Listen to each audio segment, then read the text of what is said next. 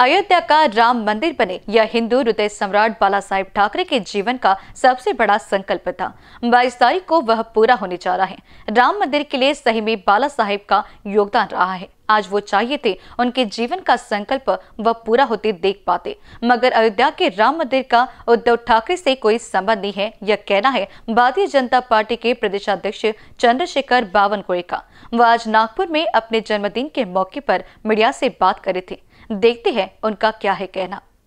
कभी ही देवेंद्र जी ने कधीही देवेंद्रजींनी याबद्दलची टिप्पणी चुकीची केली नाही. देवेंद्रजींनी उद्धवबद्दल बोललं आहे उद्धवजीचा का संबंध आहे? हिंदू हृदय सम्राट बाळासाहेब ठाकरेंजीबद्दल तर वर्तत्व वक्तत्व सर्वांनीच मान्य केलं. या देशाला राष्ट्राला माहिती आहे. आज जे बावीस जानेवारीचं अयोध्येला प्राणप्रतिष्ठा होते आहे याच्याकरता खरं तर परमेश्वराने हिंदू हृदय सम्राट बाळासाहेब ठाकरेंना आतापर्यंत या ठिकाणी ते पाहिजे होते. पण शेवटी काळ कोणाचा प्रत्येकाचा काळ आहे. पण ते हिंदूचे सम्राट बाळा बाळासाहेब ठाकरेचे राज असते तर त्यांच्या जीवनातलं सर्वात मोठा हा संकल्प पूर्ण झाला असता असं मला वाटतं.